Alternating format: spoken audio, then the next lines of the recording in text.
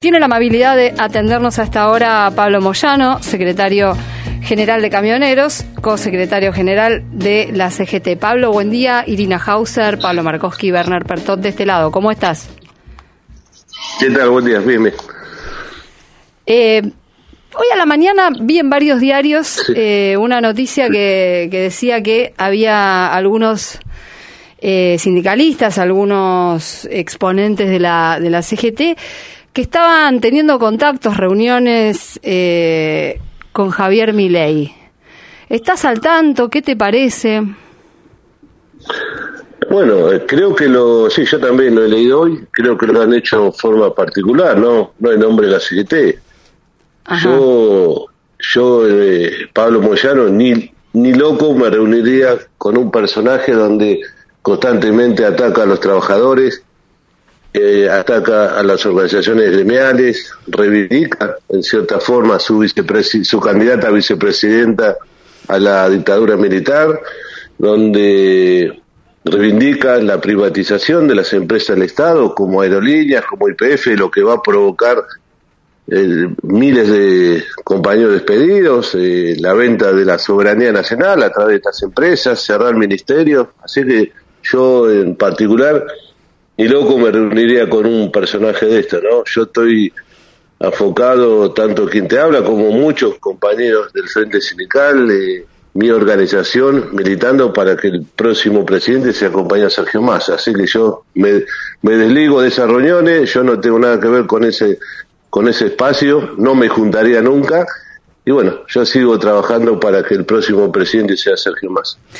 Bueno, para que no, no, no sepan, no hayan leído nada todavía, hoy me estoy refiriendo por un lado a Gerardo Martínez, a Luis Barrio Nuevo, representantes sí, pero que quede, que quede claro la primera declaración que hago, que yo ni loco me, me, me, sentaría a hablar con esa, con esa, con esa eh, espacio de derecha, se lo habrán hecho capaz los compañeros, yo no lo juzgo en forma personal. No, no, está clarísima tu, tu posición. Evidentemente estas personas que están teniendo estos contactos parten de la base de que hay una posibilidad de que Milei sea, sea presidente. ¿Vos eh, cómo ves el escenario electoral ahora? Bueno, creo que después de, lo que pasó en las pasos, eh, a veces uno le cuesta pensar cómo casi el 60% de los argentinos hayan elegido la derecha. Pero bueno, eh, es producto ¿no? de la bronca eh, y, de, algunas medidas que lamentablemente el gobierno no ha podido llevarle la solución al bolsillo de los argentinos, precisamente la inflación. Creo que, que es un flagelo eh, económico que, el ministro de Economía, Sergio Massa, ni el presidente de la Nación han podido controlar. Yo hago responsable totalmente a, los grandes empresarios, fundamentalmente de, de los alimentos.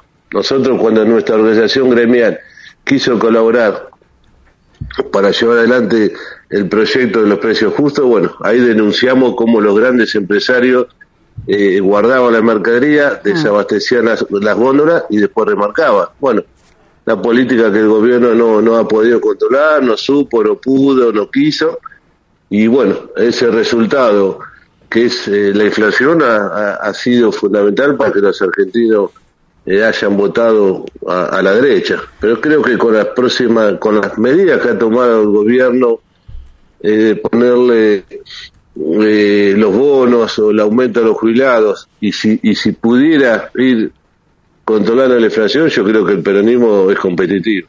Nos vamos a demostrar, eh, nos ha llamado la atención a los dirigentes, a los militantes, a los periodistas, como en algunos distritos eh, en la provincia o en, algunas provincias como, como eh, se había ganado hace dos meses y, el candidato de la derecha ha ganado, ¿no? Creo que no ha habido una militancia de algunos sectores de nuestro espacio. Eh, es una autocrítica que nos tenemos que hacer y ojalá, ojalá que se pueda revertir esta situación. entiendo que hablas de, bueno, de, militar la candidatura. Sí. Por supuesto, por supuesto. Que, que más allá de la bronca de la inflación, de algunas medidas que no han llegado al bolsillo de los trabajadores, mucho peor va a ser no si vuelve la derecha. Ya lo han dicho, te lo dicen todos los días, que te van a sacar la indemnización, las vacaciones, el aguinaldo, privatizar las empresas del Estado. lo que va a provocar, bueno, como dije recién, ¿no? Miles de puestos de trabajo en la calle y ojalá, ojalá que, que tengamos la, la, la, la, posibilidad de, de, revertir esta situación, de llegar a al balotaje. Bueno, en noviembre será otra otra cuestión. Eh, lo que te quería preguntar es cómo se puede militar hoy la candidatura de Sergio Massa. Bueno, hablando con los laburantes, yo lo estoy haciendo, yo estoy yendo fábrica, empresa, los barrios, eh, después quedarán cada dirigente o dirigente si, si lo está haciendo. Yo veo cuando, como lo dije hace unos días atrás, eh, una inacción del Partido Justicialista Provincial, Nacional, de algunos dirigentes que no se le escucha hablar. Mm. Y bueno, yo como yo, yo me saco los cargos que puedo tener que ser circunstanciales. Yo soy peronista, militante y estoy todos los días hablando con los trabajadores. Para mí, yo le digo a los compañeros, ¿cómo puede ser que un laburante eh, o el hijo o la hija de un laburante haya votado a mi ley? Eh, si te está diciendo que a tu viejo o a tu hija te va a sacar los derechos. Y bueno, uno trata de, del lugar que puede de, de, explicarle eso a la gente. bueno quedará en cada dirigente si lo hace o no, ¿no? Sí. Pablo Bernal, yo no veo dirigente, yo no veo dirigente de nuestro espacio en la televisión. Ahora, Cuando te levantas a las 6 de la mañana, son las 12 de la noche y estos personajes se pasean por todos los programas de televisión mintiendo y llenándole la cabeza a la gente. Yo no veo compañeros de nuestro espacio haciendo lo mismo, ¿no? Por eso te da bronca, por eso eh, nos llama la atención del cierto silencio de algunos espacios de nuestro, de algunos dirigentes de nuestro espacio. Entre los dirigentes les incluís a Cristina Fernández de Kirchner y no están hablando. No, yo incluyo a todos. Eh, Unión por la Patria es el presidente, la vicepresidenta, los gobernadores, los intendentes, los dirigentes gremiales, los dirigentes de los movimientos sociales. Todos somos Unión por la Patria. Y veo, veo algunos sectores ¿no? Eh, que, que, muchos no hablan o salen a, defender las medidas del gobierno. Yo también soy crítico. ¿Cómo puede ser que nuestro candidato a presidente, Sergio Massa, anuncia un bono para los trabajadores y salgan los gobernadores peronistas y no, yo no pago? Por eso te llama la atención, ¿no?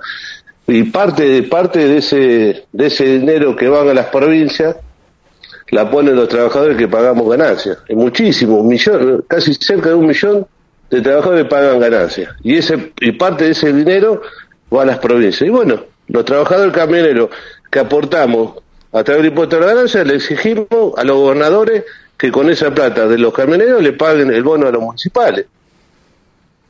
Pablo, te saludo Pablo Markovsky. Eh, ojalá que no, digo ojalá que no, y lo remarco. Eh, vos hablabas de salir a, militar, a hablar con los trabajadores, pero en un escenario donde tenés, por un lado, a Milei, pero no estamos nombrando a Bullrich y su embestida violenta, por cierto, yo contra. Dije la derecha, yo dije sí, sí, sí, Te entiendo, te entiendo, te entiendo. Mi pregunta apunta a, eh, insisto con el ojalá que no, faltan las elecciones y se puede dar vuelta. ¿Cómo imaginás? Porque cuando hablan de ir contra los derechos de los laburantes, de la sociedad en general, eh, lo hablan como si eh, no hubiese, eh, no fuera a haber resistencia. ¿Cómo te imaginás ese escenario? ¿Cómo, ese escenario, cómo vos y la CGT se plantan frente a un eventual escenario de quita de derechos? ¿Cómo sería esa resistencia? Bueno, yo lo, he dicho varias veces y lo hemos demostrado en el macrismo cuando quiso llevar adelante la reforma laboral. Eh, a veces cuando voy a escuchar a estos personajes, como la Burris, como Belconian, como Milei, con toda esa, esa banda que quiere volver a gobernar, eh, hablan de sacarle derechos a los trabajadores y se cree que los dirigentes nos vamos a quedar cruzados brazos mirando la tele cómo despiden trabajadores, cómo cierran empresas.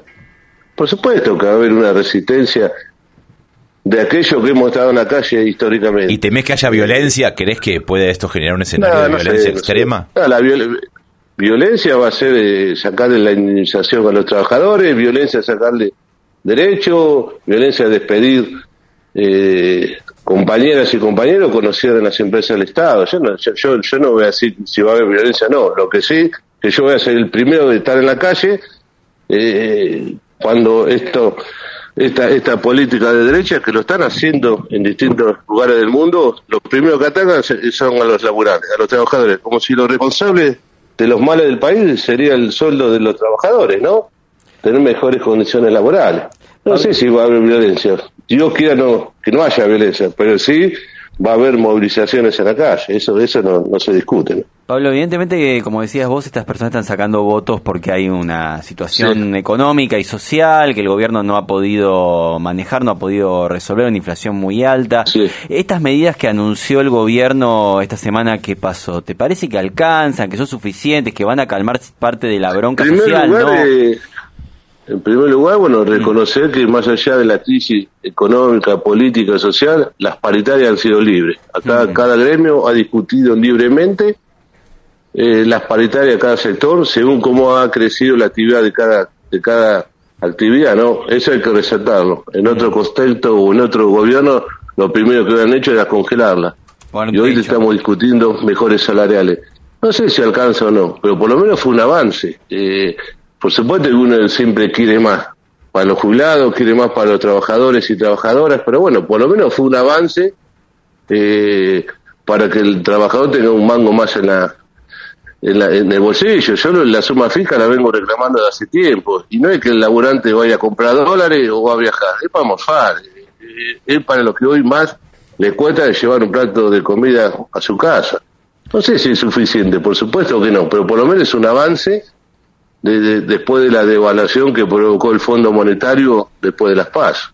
Ojalá uno siempre quiere más. Nosotros en nuestra organización firmamos un aumento de 61% por seis meses y uno siempre quiere más, pero también eh, hay que ser realista de lo que está viviendo hoy el país. Pablo, ¿te parece que la cuestión económica es exclusivamente lo que ha llevado tantos votos a la derecha o hay otra cosa, o hay algo más? No, no, por supuesto. Lo principal es la, economía, ¿no? También hay que, que, agregar otros factores, como la inseguridad. Nadie puede mirar mm. para otro lado lo, que es la, inseguridad, que es un tema muy sensible para, para todos. A mí también me pasa. Salen los pibes a la noche y, y no dormí hasta que vuelvan. Se puede vivir tampoco así. Y bueno, y, y lo central, por supuesto, que la economía. Si, si sabes que hay un sueldo promedio de 200 a 220 mil pesos y, la canasta básica son casi 240 mil pesos. Ahora, ¿qué pasa por ahí. Es, que es una paradoja porque los candidatos de la derecha prácticamente te dicen en la cara la medida que van a, las medidas que van a tomar, que te van a afectar y sin embargo se los vota. Y por eso yo te dije, cuando yo hablo con los laburantes, digo, muchachos, después no lloremos, ¿eh? te están diciendo que te van a sacar todos los derechos que, muchas organizaciones gremiales costaron sangre, compañeros detenidos, desaparecidos, compañeros muertos, para tener un convenio colectivo de trabajo. Te están diciendo que te lo van a sacar, y bueno, por supuesto, un montón de laburantes no deben haber votado. Pero bueno, tenemos estos dos meses para seguir eh, o convencer a aquellos compañeros que lo han votado o que no han ido a votar. Bueno, tenemos, el peronismo tiene que eh, enfocar sobre esos millones de argentinos que hoy no han eh, votado a nuestro espacio. Pablo. yo soy optimista, yo creo que vamos al, al balotaje, el peronismo entra al balotaje, y si todos nos ponemos las pilas, el peronismo es invencible una vez que empieza a caminar en las calles, los barrios, las fábricas. Yo le tengo, yo tengo mucha fe. No me resigno, como veo que parte de, de nuestro espacio, no, no sé si están resignados, pero no están militando como, como se tiene que hacer. Es la charla con Pablo Moyano que llevamos adelante. Pablo, vos hablás de trabajadores que estando eh, registrados, por ahí votaron a, mi ley o a la derecha. ¿Qué pasa con esos millones de trabajadores que cuando uno les dice vas a perder los derechos, te miran con cara de ¿de qué derechos me hablas si estoy, no estoy registrado, no me, no, me hacen los aportes? Eh, y, son muchos compatriotas que están eh, en esa situación. Entiendo que no es tu responsabilidad, que vos sos un dirigente gremial y que respondés a, tus bases, pero ¿qué mirada tenés sobre la economía informal o el negro? Te da, te da te da, te da bronca, ¿no? Eh, yo en primer lugar, eh, bueno, rescato y saludo a todos aquellos compañeros de los movimientos sociales que vienen haciendo un trabajo importante para, para contener a estos millones de argentinos, como decís vos, que uno tiene un trabajo formal, a los compañeros de las cooperativas. Y bueno, ojalá, ojalá que, que el próximo gobierno, que estoy convencido que va a ser el peronismo, encuentre las herramientas para empezar a generar trabajo genuino. Eh, muchas organizaciones gremiales hemos puesto a disposición del gobierno los centros de formación profesional, todo tenemos. Eh, los camiones, pues, simuladores de camiones, los compañeros de las automotrices, y bueno, esa es una forma de contribuir para que los compañeros se capaciten y tengan una salida laboral de forma inmediata a, las empresas de cada actividad. Hay forma de empezar a, a revertir esa situación. Lamentablemente, capaz que no, no, el gobierno no ha tenido la capacidad como para, para llevar adelante esos proyectos. Yo creo que hoy lo fundamental es que aquellos compañeros la están pasando mal, a través de estas medidas se le aliviane ¿no? el bolsillo, fundamentalmente para, el tema de, de, los alimentos. Y después, después de diciembre, bueno, que el gobierno empiece a darle respuesta a esos millones de argentinos. ¿Hasta cuándo podemos vivir eh, eh, a aquellos compañeras y compañeros sin laburo a través de los planes? Ojalá que, el próximo gobierno empiece a encontrar esa herramienta para empezar a erradicar eh, los planes, ¿no? no creo que ya no se resisten tantas partidas millonarias para sostener a través de los planes. Tendrá que generar trabajo genuino. Aprovecho, va a ser responsabilidad del próximo presidente. Aprovecho, Pablo, porque tenemos un oyente fiel, Jorge, el camionero de Quilmes, que manda, te manda un saludo desde el camión, foto del camión, volviendo, de este, y dice grande Pablo Moyano, después te mandamos la captura al oyente de la radio y del programa. No, uno que no putea. Pablo Moyano. Jorge Moyano es el capaz. No, no, no, es un oyente de, años de la, de la radio. mandar un saludo a compañeros, mandar un saludo a compañeros y muchas veces cuando algunos medios de comunicación o, o, se quejan de los salarios de los camioneros, hay que decir que eso, como ese compañero que habló, como cientos de miles en la pandemia dieron su vida, cuando nadie salía a laburar, los camioneros fueron los que llevaron adelante el, abastecimiento de vacunas y de alimentos, ¿no? En el peor momento de la pandemia. Así que le mando un saludo. Se llama Jorge, mandáselo vos. Bueno, Jorge, te felicito, te agradezco por estar permanentemente en la calle. Fuiste uno de los héroes, como se aplaudieron en su momento a los médicos, a los enfermeros. También fueron uno de los héroes con el peor momento de la pandemia. Los choferes de camiones abastecimos al país de alimentos y después de vacunas. Pablo Moyano, gracias por charlar con nosotros. No, gracias a ustedes.